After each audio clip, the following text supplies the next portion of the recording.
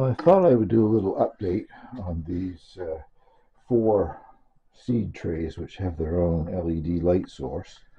If you watched my previous video, these two containers here I planted with a, a variety of lettuce seeds called Little Gem Pearl, which I've grown before in, in the garden and it worked well, but evidently the seed was too old. It didn't get a single germination, not a single one, 0%.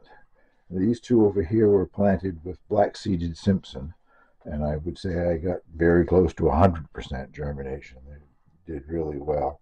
Yesterday I took the lids off of them and uh, did some pruning to thin them out.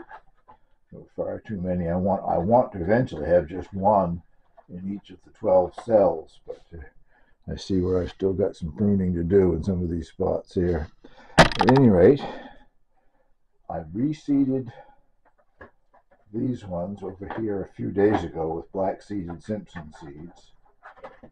And getting the same kind of success there, I would say 100% germination again. So I'm sure I'll come back and show you how these things do later on. If they do tend to get too leggy under these lights, uh, just above these I have my uh, LED lights that I work on a timer when I'm growing things, uh, starting seedlings for the garden, whatever. So I will use those if necessary. And once they fill these containers up, the domes up, whatever, I'd have to use those anyway. So well, that is a little update. Thank you for watching. And I will put a uh, link below once again to these items on, on Amazon if anybody's interested in getting their own. Thank you for watching.